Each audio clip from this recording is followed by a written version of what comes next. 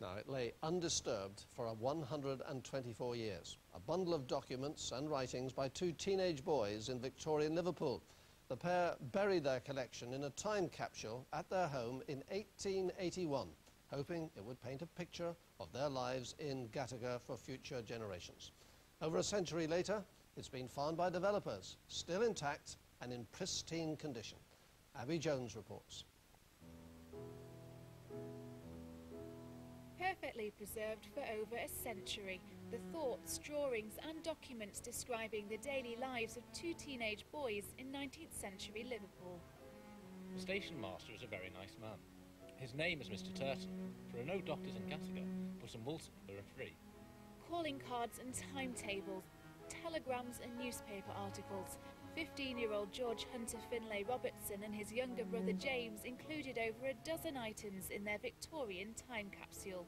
It just painted a picture of that era for us, which must have been a very exciting time for those two boys. The railway had only been built a year or so before. It told us about their family, life in Gateacre village, the names of the clergymen and the local shopkeepers. George and James were sons of a wealthy businessman and lived in a house which became the Gateacre Hall Hotel. This doorway is now all that remains of the site where the boys once lived. It's all been turned into apartment blocks. The capsule was found behind here as the developers were dismantling the stones one by one. It dropped out and fell into the rubble.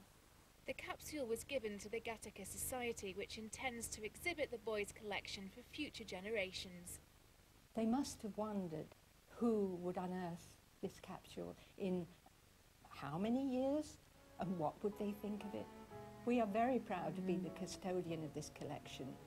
Abbie Jones, Northwest Tonight, Gateacre. What a fascinating story.